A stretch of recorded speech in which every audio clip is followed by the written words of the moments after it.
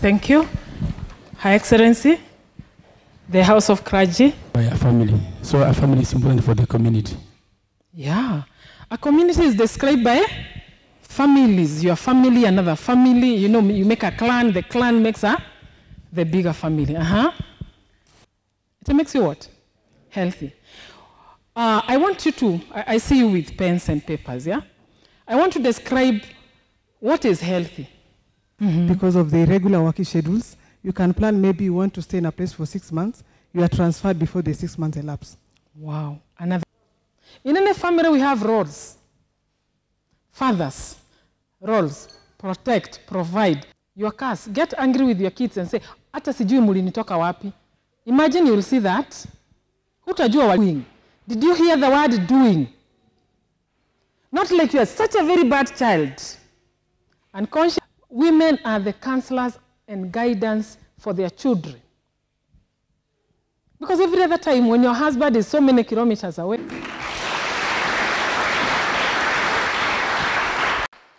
The reason why that certificate may be very important is to secure your family, to secure your wife, and to secure your children. I will tell you for free because I'm a woman. When my husband had not given me the certificate, I did not believe I was his wife.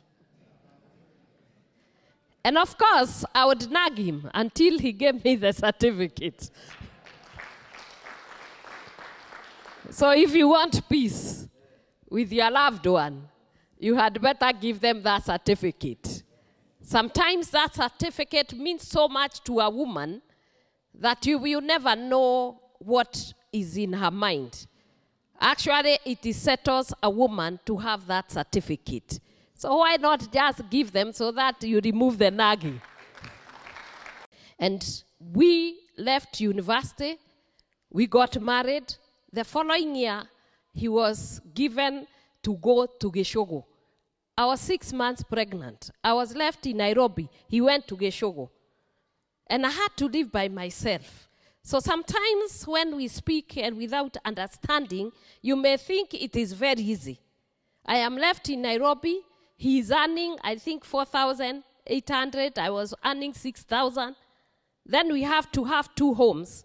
And the little that we have now, we have to divide because now he has his own expenditure. I have my own expenditure. And here I'm expecting his child. I have to go to to, to maternity, I have to go to all those things. And sometimes it can be very challenging.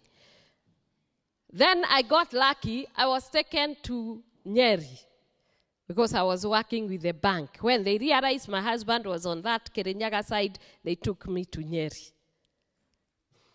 When we arrived there, before we could get our child, he was transferred to Nairobi.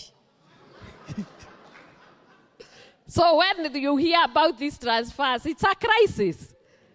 Now I'm left, I'm almost giving birth. I am in Nyeri, now he's gone back to Nairobi.